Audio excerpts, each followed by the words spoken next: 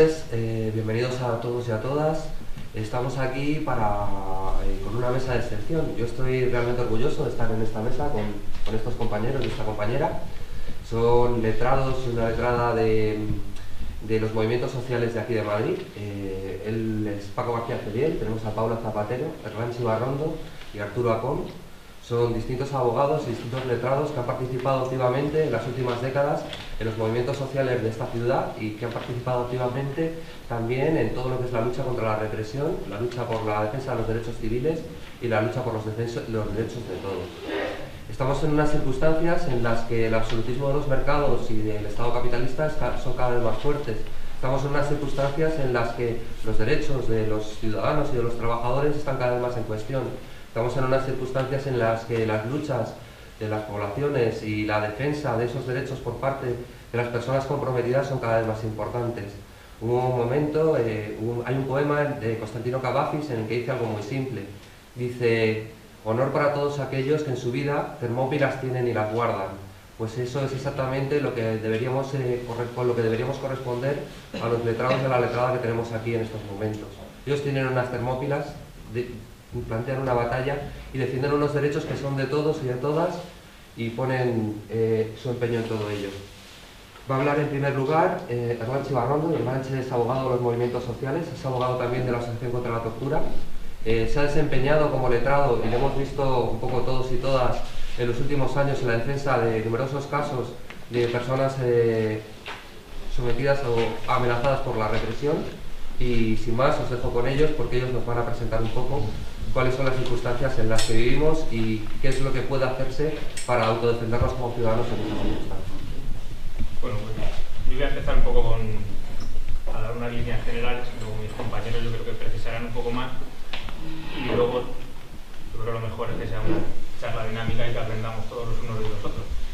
Eh, como el tema de la charla es eh, la temática de la represión, yo ciertamente eh, comparado con mis compañeros, creo que soy, yo creo que será el que menos lleva ejerciendo. Llevo 14 años, pero yo creo que sí que ha habido una, una evolución desde, desde, hace unos años hacia acá. Eh, contrariamente a lo que se piensa, hemos ido hacia atrás y el Código Penal cada vez, en lo que toca a la jurisdicción penal, cada vez ha sido más represivo y cada vez ha sido más duro hasta llegar a... Bueno, yo me acuerdo que cuando, poco después de terminar, eh, hice los cursos para hacer la tesis y mi tesina iba a ser, que pasa como todavía estoy haciéndola, la deriva del Código Penal hacia la cadena perpetua. Y digo, ostras, ya me ha. Pues ya nada, tengo que tirar la tesis porque me ha dado tiempo. O sea, es una evolución tan grande y en tan corto periodo de tiempo que yo creo que es algo destacable y que luego supongo que lo vamos a ir, ir analizando. Lo que pasa es que los que somos operadores jurídicos o los que estamos dentro de, de esta dinámica jurisdiccional, según pasa el tiempo, eh, yo por lo menos te planteas si este tema de la justicia existe, no, no la justicia en, sentido material, que evidentemente pues dentro de un sistema capitalista pues es complicado que existe, ya sabemos que no, pero luchar por la justicia dentro de, la propia dinámica de los jugadores también es algo complejo. Eh, yo llegaría a la determinación de que evidentemente la justicia no existe, pero dentro de los términos propiamente jurídicos de la expresión. Y que lograr hacer justicia en los juzgados hoy en día, supongo que antes también, pero en los últimos 15 años en los que yo estoy ejerciendo, es realmente complicado. Eh, de manera que nuestra labor no, es para desanimar ni para ser desalentadora, pero muchas veces es eh, intentar hacer lo menos perjudicial para la persona que está ahí, pero lograr realmente una justicia dentro de, la estructura jurídica y cómo se desarrollan los procedimientos penales es ciertamente complicado. Yo, mis compañeros seguramente se extiendan más en algunos aspectos, pero a mí sin duda hay uno que se va repitiendo día tras día y día tras día y juicio tras juicio y, y es ese hecho de que la palabra del común del ciudadano no tenga la misma validez que la de según qué persona o la de que según qué eh, persona investiga con cierta autoridad.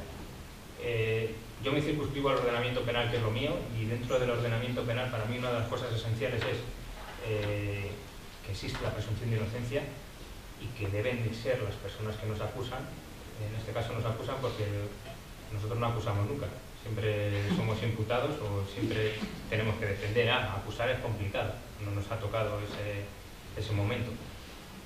Lo cierto es que el día a día dentro de, las jurisdicciones, el día a día de los juzgados, de los juzgados de instrucción, de los juzgados de lo penal, de la audiencia eh, provincial, eh, nos encontramos con sentencias y toda una serie de tratamientos jurídicos en la cual la palabra de los agentes de la autoridad tiene una presunción de veracidad sobre lo que nosotros digamos. Entonces convertimos el día a día de los juzgados en lo que se denomina la prueba diabólica. Y es que es el imputado, o sea, es a la persona a la que se le están eh, mm, manifestando, diciendo que ha cometido ciertos delitos, la que tiene que probar su inocencia. Con lo cual estamos pues ante una prueba diabólica y que ciertamente es complejo. Por eso eh, yo decía esto de si realmente existe la justicia, que es que no, y realmente si nosotros tenemos la capacidad dentro de cómo está la legislación y dentro de cómo interpretan la legislación eh, tanto la Fiscalía como los jueces, de conseguir eh, llegar realmente a que se haga justicia en la mayoría de los casos. Y la respuesta para mí es no, no existe justicia y que nuestras probabilidades de conseguir la victoria dentro del ordenamiento jurídico son muy pequeñas. Son muy pequeñas, yo me circunscribo ahora a estos, a estos procedimientos que es en los que más nos estamos viendo involucrados, que es en torno a las manifestaciones, en torno eh, a los desahucios, en torno en el que siempre tenemos la palabra de un agente de policía que dice que he hecho A y tú que dices que has hecho B. Pues nuestras probabilidades de victoria es que son muy pequeñas, esa es la realidad, pero la realidad es que el ordenamiento jurídico dentro de la jurisdicción penal no afirma que la palabra de un policía tenga presunción de veracidad, sino que es una, simplemente es una denuncia y teóricamente sus palabras tienen exactamente el mismo valor que la nuestra. Si estuviésemos en la jurisdicción contenciosa administrativa, y luego lo hablaremos, pues veríamos que la respuesta es contraria porque la propia ley 30-92 nos dice que la palabra de la policía tiene presunción de veracidad, que somos nosotros, en este caso el administrado, el que tiene eh, que conseguir enervar esa presunción de veracidad pero la jurisdicción penal no es así, o por lo menos no es así como nos lo cuentan, pero la realidad del día a día es que sí es así. Entonces estaría bien que fuesen más realistas o fuesen más sinceros, nosotros supiésemos, ahora evidentemente sabemos dónde estamos, pero el común del ciudadano no es consciente de lo que pasa. Y lo digo por el, por el día a día del trabajo cuando te llegan y dicen, oiga, pero usted, que nos pasa muchas veces, ¿cómo vamos a llegar a un acuerdo con la Fiscalía? Me piden tres años y medio por atentar a la autoridad y nos vamos a conformar con un año si yo no he hecho nada. Pues sí, pues muchas veces eso es lo que decía, que somos más prácticos que mm. realmente eh, intentar llegar a una justicia real. O sea, lo que intentamos es minimizar eh, los gravámenes que sufre el ciudadano. Es así, es el día a día. Y en este, en este contexto hay que ver cómo si la, si la realidad jurídica era complicada, cómo la han ido haciendo y para mí han trazado un círculo perfecto en que el ciudadano, el administrado, eh, tiene muy complejo salir. O sea, la reforma del Código Penal, la ley Mordaza, que bueno, estos días os han estado diciendo, la reforma del Código Penal, la ley de protección de la seguridad ciudadana, la ley Mordaza y el nuevo este pacto antiyihadismo, lo que hacen es un círculo perfecto en el que hace que la capacidad de movimiento que tengamos nosotros sea muy, muy, muy limitada. Eh, en los últimos tres o cuatro años, por lo menos en mi experiencia profesional, sí que había eh, un cierto movimiento dentro de la judicatura. Los jueces, los fiscales no, salvo una excepción o dos, ahora hablaremos, supongo que será por el, el por qué, pero sí que es verdad que, los jueces sí que habían tenido como una especie de evolución y habíamos conseguido eh, que muchos jueces se planteasen que eso que manifestaba la gente de policía, pues oye, igual no era cierto, o igual no era todo lo cierto, que él decía. Entonces estamos consiguiendo bastantes sentencias absolutorias, sobre todo en los juegos de instrucción, con los juicios de faltas. Estamos teniendo ciertamente en los últimos años, tres o cuatro, una dinámica de victoria bastante grande. Y una de las eh, columnas fundamentales de, estas eh, absoluciones eran las pruebas videográficas que teníamos. Era una manera de objetivar lo que estaba pasando y era una manera de aportar una prueba que no permitía más interpretaciones que las que existían al, visual. Eh, esto nos hacía tener una prueba muy importante y esto es una labor de todos los periodistas que realmente son periodistas y que se jugaban en el físico y que realmente creían pues eso, en los principios que supongo que les enseñan en la facultad de periodismo y aportando esos vídeos teníamos muchas, muchas oportunidades de ganar y de hecho eso nos han hecho eh, salir victoriosos en, muchos procedimientos. Y traigo a colación esto porque, joder, qué casualidad. Una de las modificaciones de la ley Mordaza es, oiga, tengo este cuidado porque sí me está grabando y esto puede atentar contra esta gente de policía, me puede poner en peligro, puede tener alguna consecuencia para su devenir no solo profesional sino personal, le voy a sancionar dentro de la ley Mordaza. Independientemente de lo que pase después con la aplicación, solamente con incluir este articulado en la ley Mordaza, lo que hace es que la persona que antes grababa ahora se lo piense y una de esas pruebas, no diré que la principal, pero sí una de las que teníamos, que era importante y que permitía la que permitía la victoria en un montón de procedimientos, pues está anulada. La reforma del Código Penal lo que, lo que está haciendo es, eh, luego lo, lo, hablarán mis compañeros eh, mucho más exhaustivamente, yo solamente es una reflexión, lo que está haciendo es eh, una serie de interpretaciones que hacía la judicatura más favorable al manifestante o al ciudadano, lo que le está diciendo al, operador jurídico, al juez, le está diciendo, oiga, no, no, usted ya no puede interpretar, que nosotros ya le vamos a poner en la ley exactamente lo que tiene usted que decir. Con lo cual el margen de maniobra es cada vez más pequeño, más pequeño, y el margen, muchos jueces, también es verdad, no hay que generalizar, muchos jueces que realmente observan el procedimiento y dicen, no, pues esto es una sentencia ejecutoria. Dentro de un margen sí que pueden maniobrar, pero si le hemos cercado cada vez más el margen, no va a tener posibilidad de moverse. Hay que tener en cuenta quién es el legislador, quién es el que hace las leyes. Es una evidencia, lo sabéis vosotros, pero bueno, el que hace las leyes es la misma persona o el mismo, el mismo PPSOE que lleva gobernando un montón de tiempo y sin duda busca pues, que no se mueva nada. Entonces, los operadores jurídicos cuando eran independientes y tratan de dictar una sentencia eh, intentándose salir de ese encorsetamiento, tenían posibilidades antes y se la van limitando en algunos delitos, como la resistencia, o tipificando algunos delitos que antes no estaban tipificados, con lo cual las posibilidades de maniobra del juez cada vez son más pequeñas, más pequeñas, más pequeñas. Además lo que han hecho es, oiga, juicios de faltas ya no van a existir. Y dicen, joder, fíjate el legislador cómo se preocupa por el ciudadano porque en vez de tener repercusión penal, ahora simplemente va a tener una repercusión administrativa pues fíjese, ¿no? como el derecho penal es, un principio es el de última ratio, o sea, es el último en entrar, pues oiga, lo vamos a, mm, ramificar o a llevar hacia la jurisdicción administrativa que es mucho menos gravosa. El problema es lo que os decía antes, al principio. En el ordenamiento jurídico, aun cuando la interpretación sea así, pero de oficio, de primero, la palabra de un policía no tiene presunción de veracidad. En el ordenamiento administrativo sí, en el ordenamiento penal no, en el ordenamiento administrativo sí, tiene presunción de veracidad. Con lo cual todas esas modificaciones de la ley Mordaza están concatenadas con esa interpretación de que la palabra de la gente de policía tiene una presunción de veracidad. Entonces vamos a, tener que ser nosotros los que tengamos que enervar esa, lo que afirma lo que ponga el policía en una multa. Y es muchísimo más complicado. Si en la jurisdicción penal en los juicios de falta estamos ganando un montón, porque era un ridículo y porque no se lo creían y porque no muchas veces ni siquiera iban los agentes o cuando iban eh, pues no tenía ni pies ni cabeza y teníamos un montón de sentencias resolutorias, al transponerse a la jurisdicción contenciosa administrativa, eso va a llevar indefectiblemente a que las sanciones administrativas se nos vayan a imponer. Y muchas veces nosotros, dentro del ordenamiento penal, pues como somos unos muertos de hambre, en los juicios de faltas pues te sancionaban económicamente y mucha gente lo sustituía por localización permanente, prefería estar en casa y no pagar en la jurisdicción administrativa no va a pasar eso. Y además el problema que tenemos en la jurisdicción administrativa es que el que dicta la sanción y el que resuelve, los recursos es el mismo organismo. Con lo cual, pues imaginar las posibilidades de victoria que tenemos, bastante pocas. La única manera que tenemos de ganar es a la jurisdicción contenciosa administrativa. Pero ya se han cuidado muy mucho en ese círculo que han cerrado para que poder ir a la jurisdicción contenciosa administrativa tengamos que pagar una tasa. ¿vale? Con lo cual, la complejidad, e incluso la capacidad económica del, ciudadano para poder acceder a la jurisdicción contenciosa administrativa es complicada. Entonces, de esa manera van cerrando el círculo.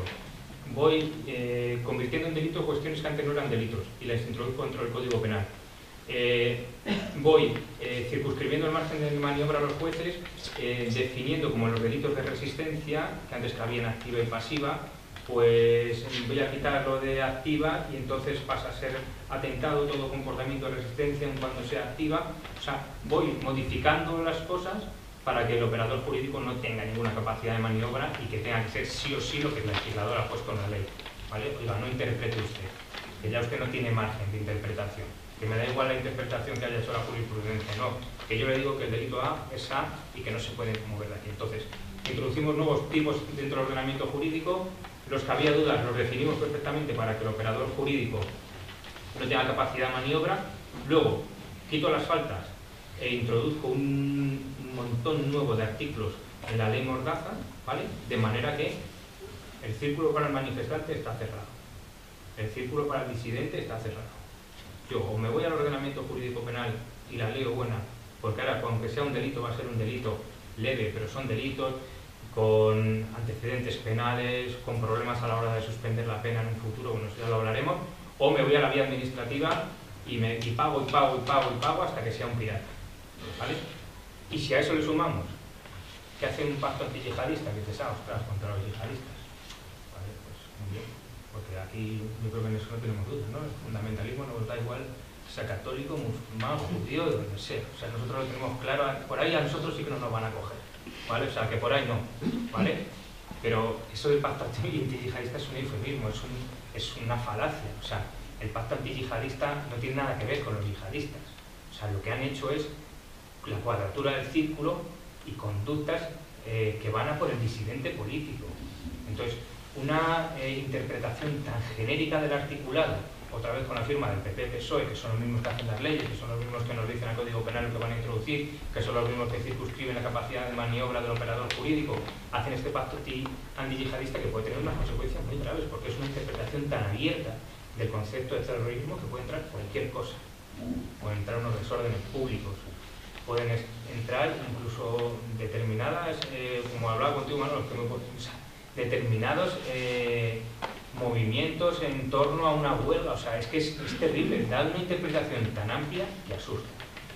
Entonces yo creo que está completado el círculo y que es labor nuestra intentar modificarlo, porque moviéndonos dentro, igual mis compañeros tienen una visión más optimista, yo es que soy así de pesimista, o sea, moviéndose dentro del, del círculo que nos han dado, o sea, nosotros jugamos en un campo de fútbol, que jugamos siempre en el campo contrario, y que en el 90% de las veces el árbitro está comprado va con el de casa, que no somos nosotros. Entonces, nuestra capacidad de maniobra es muy pequeña. Y al final, lo que hacemos en el día a día es eh, intentar eh, aminorar el, el perjuicio que el justiciable sufre en el día a día. Pero para que nosotros tengamos más capacidad de maniobra, modificar lo que está por arriba de eso. Entonces esa es una labor nuestra. Yo creo que eso, esa es la complejidad que tiene esto, que nosotros dentro del ámbito jurisdiccional nos podemos mover muy poquito y no hacemos milagros. Entonces ese concepto de justicia dentro del ámbito de, los operadores jurídicos y dentro de la jurisdicción donde nosotros estamos, para mí no existe y es muy, muy complicado, muy complicado que lo consigamos. Y sin duda esto es una vuelta de tuerca más a la represión, lo que está pasando. Y el problema que tenemos es que Mm, no sé si es que no tenemos la capacidad de socializar lo que está pasando. de todas maneras, sí que creo que unos años aquí, por lo menos en el día a día, en el día a día con los funcionarios de justicia, en el día a día, nos miran con otra cara. Antes entrábamos al juzgado y hacían, oh, o lo de la ETA, o esto, quiénes son, o no, lo de la manifestación, lo de los desahucios, y ahora ya se ve un poco de empatía. Eso sí que es verdad. ¿vale? Eso es un, logro, pero un, logro del común de ciudadanos que hemos logrado entre todos. Pero no creo que ese logro dentro del ámbito judicial lo vayamos a conseguir, es mucho más complicado. Yo ya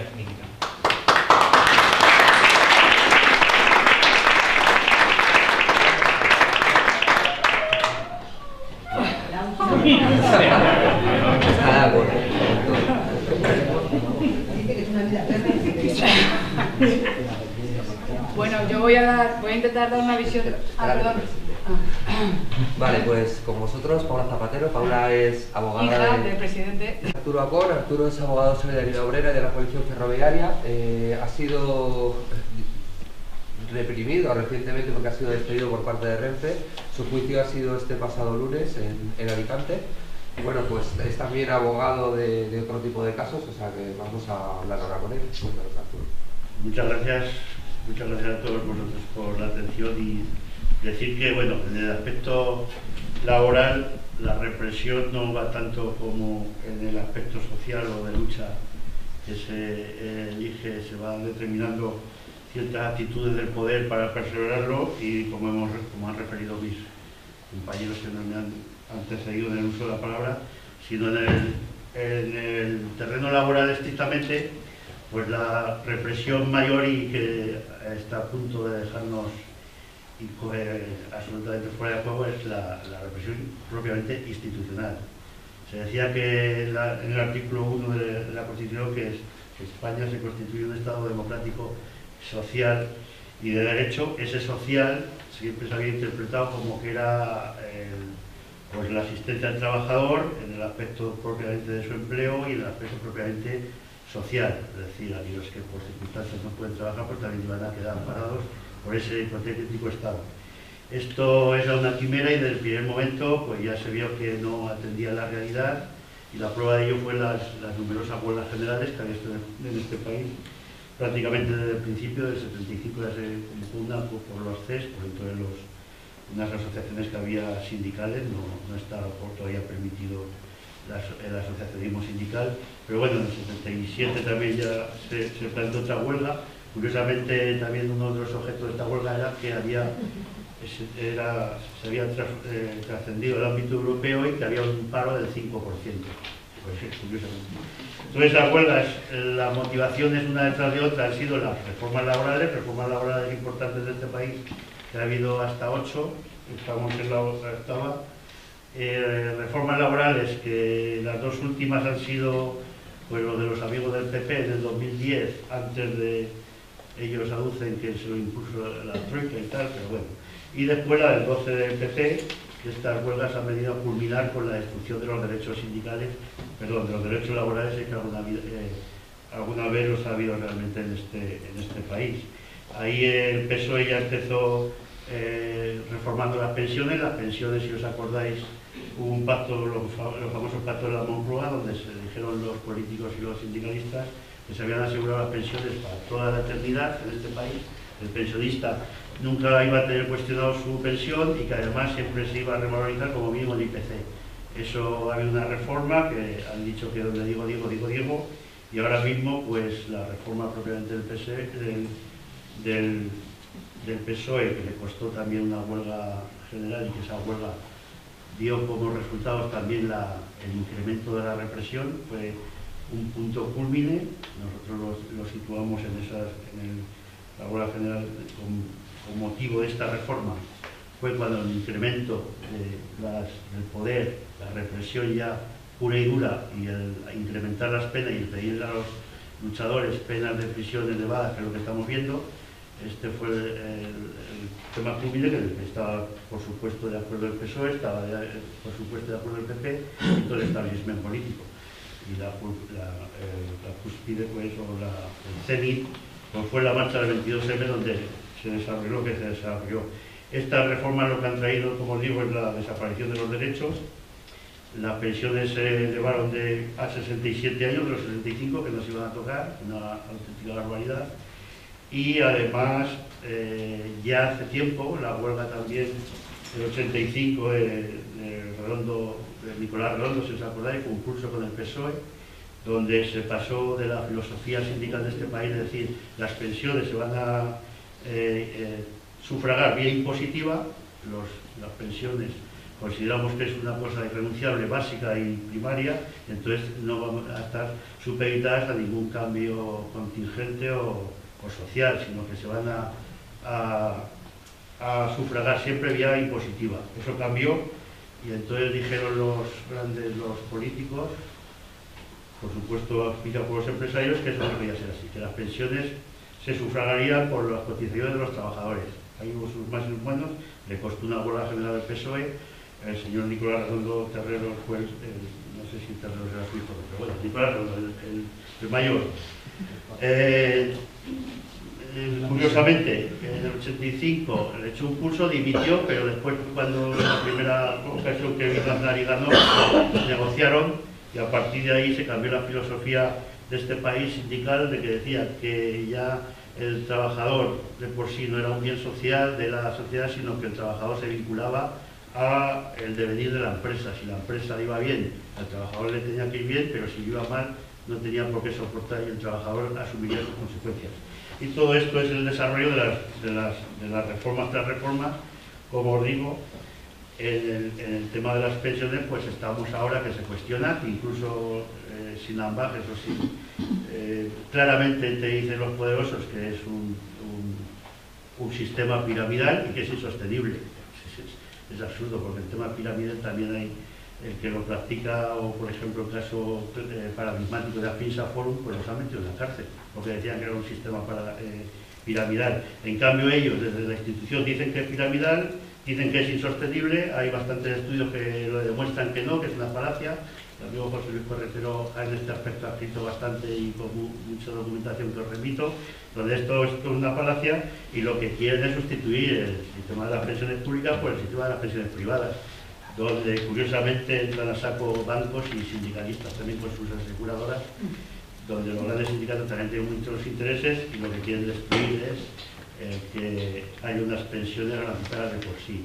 Eso ya se ha venido un poquito abajo porque a partir de, a partir de estos años es imposible, las nuevas generaciones, y hablo por mí, mi generación venidera, será absolutamente imposible que complete los, los años que exigen para tener una pensión. Las generaciones venideras tendrán que buscarse la vida con otro tipo de, de expectativa, puesto que las pensiones van a dar al traste no porque eh, se vaya a cambiar la filosofía, sino porque de 15 años también cada vez lo están elevando más, ahora cada dos años, eh, pues cada año que pasa lo elevan a dos, es decir, que ya no están aseguradas y los pensionistas, pues cuando pase esta generación, pues simplemente desaparecerán o tendrán que hacer un, un plan privado. En el plano del empleo, pues en el plano del empleo la, dinámica no ha venido a mucho mejor. Eh, en esta reforma del PSOE en 2010 se abrió la puerta al despido objetivo. El despido objetivo era la, norma por antonomasia que utilizaba el poder para deshacerse de trabajadores fijos y sustituirlos por trabajadores eventuales. Y en todo caso para cerrar las empresas sin que tuvieran ningún problema a la hora de este cierre porque en teoría hay impunidad, en el 77 con la ley de relaciones laborales no se puede cerrar una empresa por así, pero bueno. Y ahí, desde que la empresa para poder justificar un despido objetivo podía ser que tenía que tener pérdidas, la amortización de puestos de trabajo innecesario, pues pasó a que simplemente, aunque no tuviera beneficios, iba, era justificativo como para tirar a los trabajadores. Y fueron más allá incluso y pusieron no, no solamente que en los últimos tres trimestres no hubiera habido beneficios o no se hubieran incrementado, sino que incluso en la expectativa del siguiente trimestre el empresario albergara la posibilidad de que no tuviera beneficios como para justificar un despido objetivo de los trabajadores. El despido objetivo se pagaba y se paga con una indemnización de 20 días por año, con un máximo de 12 mensualidades, cuando el despido eh, normal o no, o si lo declaraban improcedente por los, por los jugados, pues eran 45 días. Bien, pues eso vino a aparatar despido y prácticamente a dejar el despido libre en este país. Eso también lo, mm, lo eh, afianzó la reforma última del PP del 12 con los famosos expedientes de regulación de empleo, que es un auténtico fraude, los famosos expedientes de regulación de empleo, que al fin y al cabo son despidos objetivos colectivos, que afectan a más dice la ley a más de seis trabajadores, son auténticos fraude y son donde todo el mundo chupa, incluso los sindicatos oficiales, con el famoso canon de negociación. Por hacer despidos, eh, por hacer estos despidos, los millones de o los los sindicatos que entran ahí, pues también cobran. Y entonces eh, pusieron los seres, los, los expedientes de regulación de empleo, el PP lo, lo afianció diciendo, ya no necesitas el acuerdo de los trabajadores para llevarlo a cabo, ya no necesita, si no hay acuerdo de los trabajadores, la autorización administrativa, se iban al organismo competente que estaba transferido, aquí sería la Comunidad Autónoma de Madrid, le daba la autorización, tampoco era muy difícil conseguirla, sino que ahora sin la autorización no podían, podían eh, acometer tal despido, pues ya pues el afianzamiento todavía más, un paso más adelante, una vuelta de tuerca donde el despido libre, ya ha habido casos paradigmáticos porque las empresas, claro, como el de Coca-Cola, como el de Sniace, o como el de Pan Rico, donde incluso la Audiencia Nacional los ha declarado nulos. Hay, un hecho, hay otro tema paradigmático que el canal no, donde lo declaran nulo, donde eh, el gobierno valenciano ni se inmuta, tiene a los trabajadores pagándoles en su casa, pero no tiene televisión. Es el, el sumum. Claro, eh, los, los, paradigmas de, esta, de, estas actuaciones son estos, pero el caso es que miles y miles y miles de trabajadores se van a la calle sin que se lo declare nulo, porque incluso ni tienen representación sindical, ni tienen eh, disidentes en esta representación sindical que, que, que se vayan a pedir amparo a la justicia, sino que simplemente cogen los 12 días, los 20 días, sí que ahí entra la negociación que puede incrementarse, pero que se van a, la calle. Esto en cuanto al empleo, pues eh, también, por supuesto, ya eh, introdujeron la desregulación total de las funciones. Hoy en día la función profesional o la categoría profesional no no tiene por qué vincularte a lo que tú haces, sino que la categoría profesional del grupo. Tú puedes hacer de todo y de todo. Todos pueden hacer de, todo. Entonces la movilidad geográfica es un blue, la movilidad funcional, porque el empresario tiene todas las posibilidades de mover al, trabajador en el sentido que le dé la gana. Y si no estás de acuerdo, entonces eh, te puedes ir a la calle con 20 días eh, por año, en este caso con nueve, con nueve mensualidades. Y el último concepto que también de la biocarcerosa del yaquito, pues es el tema de la flexiseguridad, un, un engendro de, intento de adecuar lo que hay a decir que, bueno, que hay una, tiene que haber un equilibrio entre la seguridad del trabajador de su trabajo con la flexibilidad y en esto pues se podría garantizar el mantenimiento de empleos, todo, todo va siempre al pairo de lo que decide el poder económico, que es el que maneja el poder político, y estamos al día de hoy a la desregulación absolutamente total. Si hablamos también del aspecto, del aspecto de empleo, también es muy significativo el devenir que ha sufrido el desempleo. El desempleo pues, eh, han ido bajando las cuotas, han ido eh, también la última reforma del PP, cambió los seis meses primeros, se pagaban al 70% y los 18 meses restantes, si es que acaso el trabajador conseguía cotizaciones para tener dos años, se pagaba al 60%, bueno, esto no les había valido y el PP lo bajó al 50%. A partir de seis meses que estás en el paro vas a cobrar la mitad de lo que te correspondía. Esto ya sabéis la teoría de que el que está paro es porque quiere, que hay trabajo y que, y que bueno, y después ya está la, clásica, em, pues bueno, la beneficencia, ¿no? que llaman ellos, que es la no contributiva, que tienes unos, unas posibilidades de, que si no tienes nada para vivir, pues tienes amparo al Estado y te dan unas posibilidades no contributivas que son al uso de estos pasaditos 26 euros, todas estas cosas, lo que tienes que demostrar pues que realmente tienes unas necesidades muy, muy precarias porque te conceptúan también la unidad familiar, no solamente por el hecho del personal, sino con quién vives, cómo vives y todos los factores para excluir realmente a estas ayudas les reportan a un, a un poquito de, personas. En el tema de realmente de los designios de los propios trabajadores, que es la autotutela o la negociación colectiva, pues se ha llegado al, a, a desregular lo que eran los convenios colectivos, se regulaban de más a menos, de mayor ámbito a menor, del nacional al, propio de la empresa y la han cambiado totalmente. Ahora que prima es la empresa, porque sabe el empresario que es más fácil negociar con su comité de empresa, de una empresa mediana, pequeña o grande, con su comité de empresa, con sus sindicalistas al uso, y no tiene que depender de un ámbito superior. Eso también ha desregulado por las consecuencias que ahora las empresas están negociando su propio convenio y también eh, eh, no es la misma fuerza la que ejercen, sino cuando había un convenio, convenio marco, que mandaba los, derechos mínimos y todo el mundo se tenía que, ajustar a él.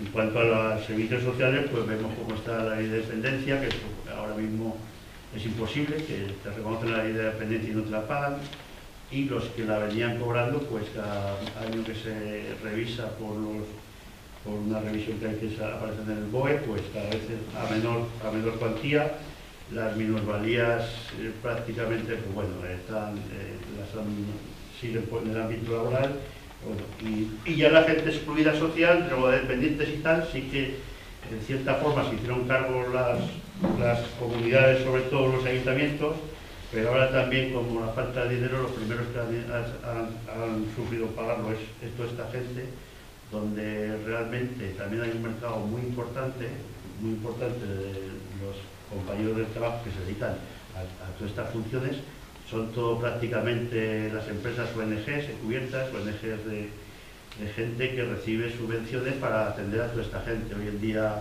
esta gente está pasando bastante mal, por lo menos en el ámbito que yo como de la comunidad valenciana, donde eh, los trabajadores pues, están soportando el trabajo con cuatro y cinco meses de retraso.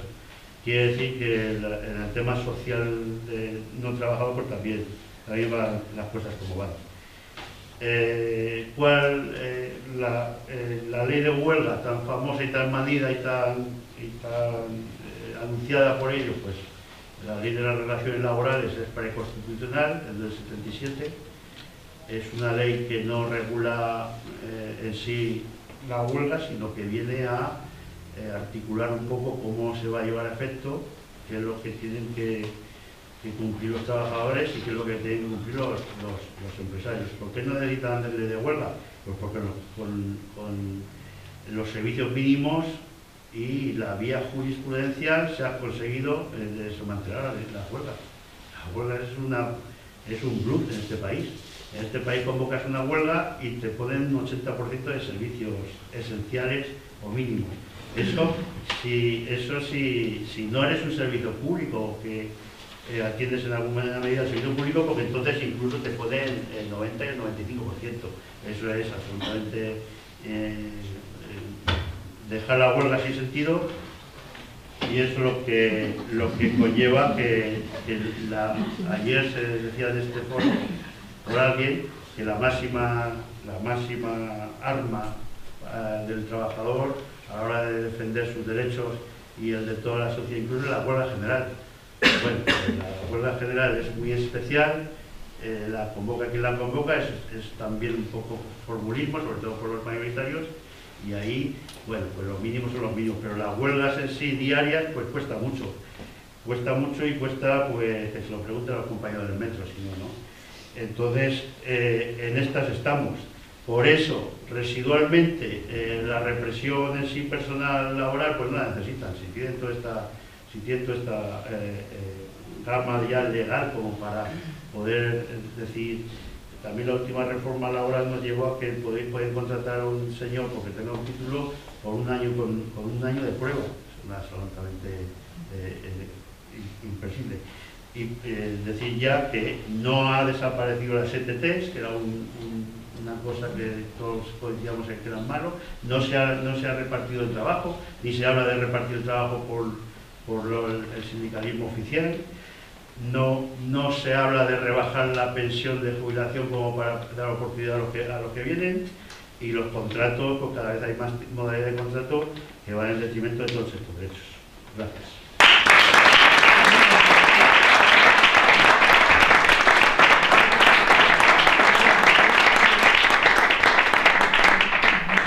Bueno, el último en hablar es Francisco García Cediel, Paco García Cediel. Yo puedo contar cómo lo conocí, si queréis, un momentito.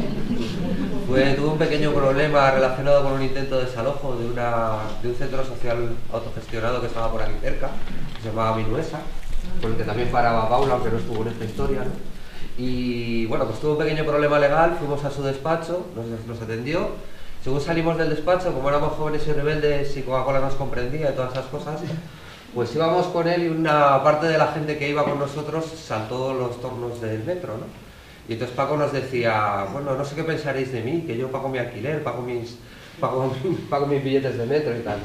Luego, cuando, he sido abogado he comprendido que efectivamente los abogados pagan su alquiler, sus billetes de metro, sus lentejas y que aunque hagan estas cosas muchas veces sin cobrar, pues necesitan realmente también tener los emolumentos necesarios para sobrevivir. Pues nada, Paco. Bueno, muchas gracias. La anécdota me parece graciosa, pero vamos, no sé por qué me han dejado para el último momento, debe ser porque fui mal estudiante o algo de eso. Eh, a mí, creo que me he dejado para el último momento porque a mí lo que me gusta es ver el porqué de las cosas, ¿no? Y intentar eh, plantear el porqué de las cosas. Entonces, ¿por qué ocurren todas estas cuestiones de la represión? pues yo como soy pesimista y optimista simultáneamente, pues yo opino lo que opina Bertolt Brecht, que cuando habla de los jueces dice que hay jueces que son totalmente insobornables porque ni, ni pagándoles consiguen que administren justicia. Entonces, esta es la cuestión. Pero ya más en serio, el problema que tenemos es que incluso la gente que supuestamente es alternativa, está en contra del sistema, se crea una serie de valores que son parte de la propaganda del propio sistema, como la famosa división de poderes de Montesquieu. ¿no? Entonces, cuando se nos habla, se nos llena la cabeza con la independencia del Poder Judicial, pues entonces no pensamos que como estamos en un estado de clase, aunque formalmente los poderes sean independientes, todos obedecen a la misma naturaleza de clase. Todos los que venimos de una clase o pertenecemos a una determinada clase, siempre estamos jugando en campo contrario porque el sistema está para afianzar y defender los intereses de una clase determinada. Y esta es la cuestión. Y entonces cuando planteamos también, cuando planteamos también que eh, existe un incremento de la represión, que es cierto, no analizamos que el sistema de libertades democráticas que supuestamente en Europa Occidental, es decir, un 15%, Europa Occidental, Estados Unidos y Japón, un 15% del planeta, ¿no? Porque un 85% nunca ha habido un sistema de libertades ni nada por el estilo, ni por asomo. No ha sido más que un mecanismo para embellecer una dominación de clase, un mecanismo de legitimación de una propia dominación de clase y de hecho, para poner un ejemplo que no sea polémico, siempre se ha aplicado en materia de derechos humanos el mecanismo este de un país, dos sistemas, ¿no? Lo hizo famoso chino en lo económico, ¿no? Cuando se lesionó Hong Kong, pero en terreno de libertades democráticas, pues por ejemplo, hablamos del Reino Unido. El Reino Unido, y todo el mundo piensa en el Bobby, ¿no? Que va sin, sin armas por ahí, ¿no? Va sin armas, que ayuda a los ancianitas a cruzar las calles, ese tipo de cosas. Pero claro, también estaba en Irlanda del Norte el ejército con las ametralladoras, ¿no? Y todas las condenas de derechos humanos hacia el Reino Unido por torturas sistemáticas, bueno, lo que ha salido en, la televisión, en, las películas, ¿no? En el nombre del padre, todo ese tipo de cosas, ¿no? Esto es lo que hay. Es decir, que allí donde hay un consenso en torno al sistema, donde la educación, los medios de comunicación hace que tú no te rebeles contra un sistema de opresión, pues lógicamente no necesitan ejercer ningún tipo de represión contra ti. Ahí donde hay contestación y lucha, necesitan reprimirte. Y entonces ha, ocurrido aquí también, porque hay mucha gente que es eh, frágil de memoria, que dice, bueno, aquí supuestamente había un sistema de libertades democráticas, tal vez en Madrid y para alguna gente, porque en Euskal Herria ¿no? Ha habido una sistemática de torturas, ilegalización de partidos, cierre de medios de comunicación, tortura, no solo a los vascos, ¿eh? también a los inmigrantes, pero como los inmigrantes no contaban porque no tenían derechos, ¿no? pero resulta que la ONU, el relator de derechos humanos de la ONU, dice que los inmigrantes han sido sistemáticamente torturados en las comisarías. Ahora, cuando torturan a gente que conocemos directamente, como nosotros somos autóctonos mayoritariamente, nos, llevamos la mano, ¿eh? nos, llevamos, ¿eh? llevamos las manos en la cabeza. ¿Qué está pasando? Esto estaba pasando ya. Lo que pasa es que eh, lo que ha ocurrido es que hay una crisis económica que ha incrementado el grado de descontento social en contra del sistema o desafección y el Estado ha aplicado pues en inversión de derechos humanos, eh, la doctrina de George Bush, esta de la legítima defensa preventiva, creo que están muy asustados frente a un eventual levantamiento de la población, que yo desgraciadamente no veo, ¿no? Y entonces han decidido incrementar, incrementar con el Código Penal en la mano, reforma del Código Penal, un Código Penal que ya era muy duro, muy duro y muy salvaje, a pesar de que la imagen del Código Penal del 95 era un tipo de Izquierda Unida y uno, de, y uno del PSOE dándose un abrazo pensando que acababan de descubrir ahí la piedra filosofal, ¿no? Bueno, pues era peor que el de Franco, ¿no? Vamos a decirlo así, ¿no? El Código Penal del 95 es peor que el de Franco, ¿no? Vamos a decirlo así. A pesar de que Belloc y Diego López Garrido, que todos esta de Izquierda Unida, les pareció que acababan de, vamos, sacar una muestra de maestría jurídica total, ¿no? pues ahora lo van, a, lo van a empeorar, lógicamente, ¿no? por, la, prisión permanente revisable y otro tipo de cosas que si da tiempo en el debate lo trataremos. Y con la ley Mordaza, pues ¿qué pasa con la ley Mordaza? Que efectivamente, como dice Paula, con toda la razón del mundo, han estado estudiando en los últimos años cuáles han sido todos los mecanismos de protesta que se han organizado y los han ilegalizado todos, ¿no? Sí, no se ha quedado ni uno. Entonces es un poco como en la bola de cristal, ¿no? Los más mayores, los más mayores del lugar se acordarán de la bola de cristal que salía, yo me acuerdo perfectamente de un capítulo que de repente ilegalizaban al que llevaba un determinado tipo de sombrero, pues porque el que llevaba ese sombrero pues había sido contestatario, ¿no? Pues entonces ilegalizaban llevar ese sombrero, pues esto es lo que ha pasado, ¿no? Pero claro, esto ya ocurría, esto ya ocurría. Por ejemplo, con la doctrina antiterrorista esta de Charlie Hebdo, que hay gente que dice que es un atentado de bandera falsa, yo no lo sé, pues no, lo sé, no lo puedo afirmar, pero lo cierto es que les ha venido estupendamente.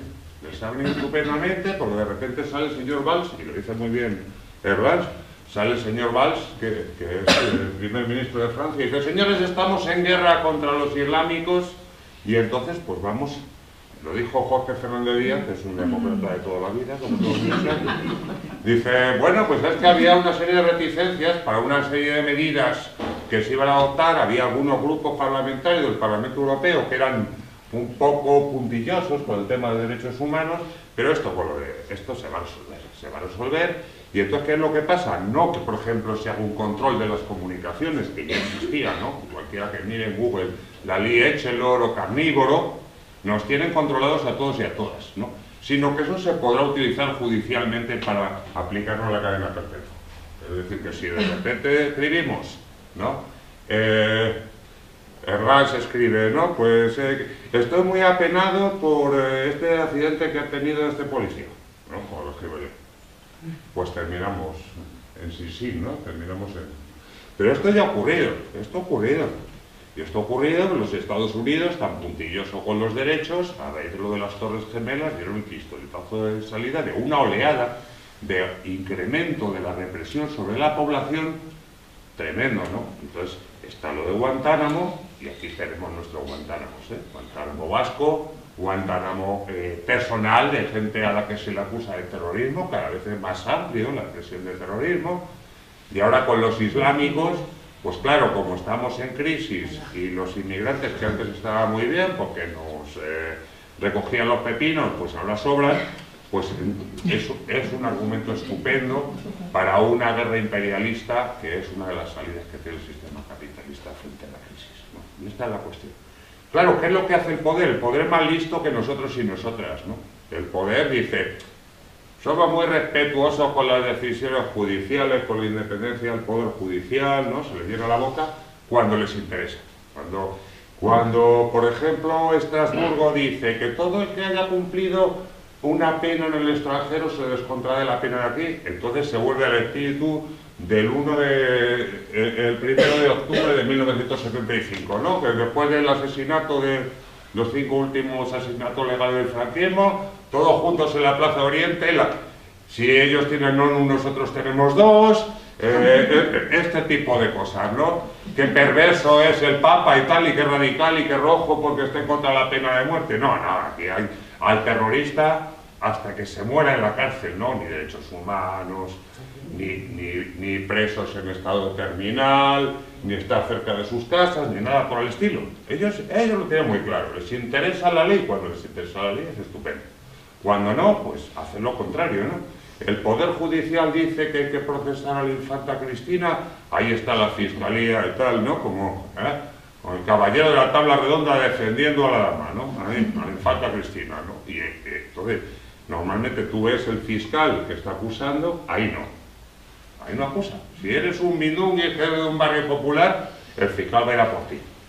Pero si eres la infanta Cristina... Entonces, esta es la cuestión. A mí lo que me preocupa fundamentalmente, y, no sé si... Muy bien. Ya me ha asustado los cinco minutos, vale. A mí lo que me preocupa fundamentalmente es que caigamos en esa trampa de pensar que estamos en un estado de, de derecho y que de repente por, porque alguien ha tenido algún tipo de problema, le ha salido un salpullido, o como en la película esta de la invasión de los ladrones de cuerpos, no sé si lo habéis visto, de repente la gente se ha transmutado y no sabemos muy bien por qué, pues ha empezado un recorte de nuestros derechos y libertades. ¿no? Y, esto, esto es lo que me preocupa fundamentalmente, que pensemos que estas cosas ocurren así como por hacer ¿no? Entonces me interesa mucho que reflexionemos todas y todas, ¿no? porque yo también vengo a aprender, cuando vengo a una charla vengo a aprender que, estamos en un Estado que es de derecho como un mecanismo de, legitimación de una dominación de clase que los derechos y libertades, aparte, son como, primero son como la musculatura, lo que no ejercemos se nos atrofia. Por el hecho de que tú tengas un derecho que viene de tus padres o de tus abuelos, no significa que se te vaya a mantener si no lo defiendes por un día siguientes. Pero es que aparte de eso, si al sistema no le interesa, te lo va a intentar quitar lógicamente. Esto, pues, es decir, si ganan más dinero dejándote sin derechos, esto a mi cliente le pasa, se quedan sobrecogidos, dicen, ¿y cómo la empresa me ha tratado a mí después de que yo me he quedado varias horas sin trabajar, eh, sin cobrar después del cierre, con lo que he dado por la empresa y de repente me da la pata del culo? Pues chico, pues es que por las horas sí, es que, claro, las cosas son así. Entonces, esta, esta es la cuestión, ¿no? Y resulta que yo, en ese sentido, a mí me parece, voy a decir, que somos poco, mm, en general, ¿no? las organizaciones sociales, la mayoría de los, lo que se llama ahora los movimientos sociales, creo que reflexionamos poco sobre ese tipo de cuestiones. ¿no? Eh, por ejemplo, la, bueno, determinados colectivos de abogados a los que pertenecemos, ¿no? Lo he prometido, lo voy a decir, ¿no? Bueno, nosotros, eh, la Asociación Libre de Abogados, tenemos instaurada una, eh, por el asesinato de los, asesinatos, de los eh, abogados de Atocha, tenemos instaurado un día del abogado amenazado, ¿no? Entonces, hemos hecho cosas que a mí particularmente me llenan de orgullo, hemos defendido a compañeros y compañeras represaliados en Turquía y este año se ha hecho algo, corregidme si me equivoco, por los compañeros y compañeras de Filipinas que lo están pasando muy mal. ¿no? Lo que pasa es que había habido unos detenidos en el País Vasco, que son nuestra organización hermana, que a mí particularmente me ha dejado un poco desolado, que incluso algunos los conocemos personalmente, ¿no? me ha dejado un poco desolado que Oye, que no es por no solidarizarnos con la gente de Filipinas, ¿eh? Que quede Yo estoy por solidarizarme con la gente de Filipinas y de todo el mundo. Yo opino como el Che. Yo siento en mi corazón el sufrimiento de todo el planeta. Pero claro, ¿qué pasa con el derecho de defensa que tenemos? No? Porque aquí tenemos en esta mesa un compañero al que se le ha hecho un dossier por parte de la policía diciendo que como defiende a determinada gente, pues es un terrorista, ¿no? O algo similar, ¿no? Él, lo dirá si quiere, ¿no? Claro, esto es como todo, el que defiende a narcos no es un narco, es un catedrático de Derecho. El que defiende a los de la Gürtel no es que sea un chorizo pasivo, sino que es una eminencia, es uno de los grandes despachos de Madrid, ¿no? ese tipo de cosas. ¿Por qué los que defendemos a determinada gente somos unos... Pues sí, es posible que seamos un poco terroristas, pero pues no lo sé, que es un caso. Es decir, que alguna afinidad ideológica tendremos, pues puede ser, ¿no? Para que no vamos a engañar porque nos conocemos todos y todas. Pero realmente creo que... Mm, ¿Por qué, ¿Por qué digo esto? Pues porque también el derecho de defensa está muy bien cuando tú defiendes a uno de la Gürtel y el derecho del abogado, y de la función que hace el abogado, que defiende a una persona, ¿no? o que defiende a un pederasta o un narcotraficante, pero si defiendes a un rojo o una roja, o a un negro o una negra, ¿no? pues ya parece que no es tanto el derecho de defensa, ¿no? parece que somos radicales, ¿eh? radicales y que también en un momento determinado tenemos ciertos dosieres, eh, piezas separadas en la Audiencia Nacional, de abogados y abogadas que somos radicales y demás. Y entonces, este, esta es un poco la cuestión. Y ya termino diciendo esto, ¿no? que, que lógicamente el Estado va a seguir reprimiendo.